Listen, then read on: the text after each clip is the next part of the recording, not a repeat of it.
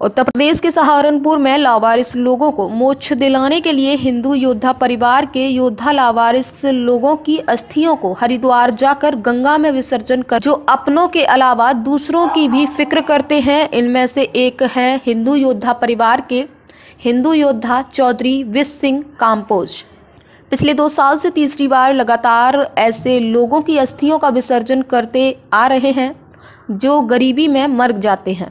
या लावारिस होते हैं। चौधरी विश्व सिंह काम्पोज, जिन्होंने कोरोना काल में भी जब लोग अपने से दूरी बना रहे थे, तब आगे आकर उन मृतकों का सह सम्मान दाह संस्कार अपने साथियों संग कर रहे थे। कोरोना काल में चौधरी विश्व ने कोरोना से मृत छिहत्तर लोगों का सम्मान पूर्वक हिंदू रीति रिवाज द्वारा दाह संस्कार कराया था और उनमें से कुछ मृतकों की अस्थियाँ हरिद्वार में जाकर गंगा में प्रभावित की थीं।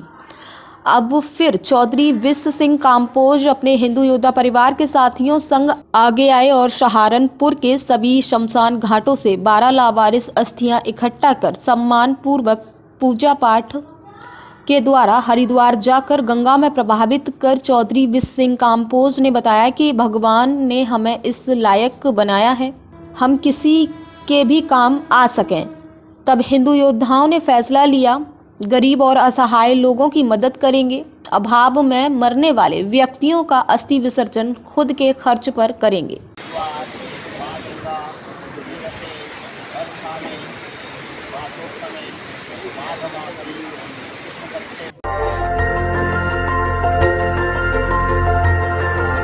देखते रहिए डीबी भारती समाचार।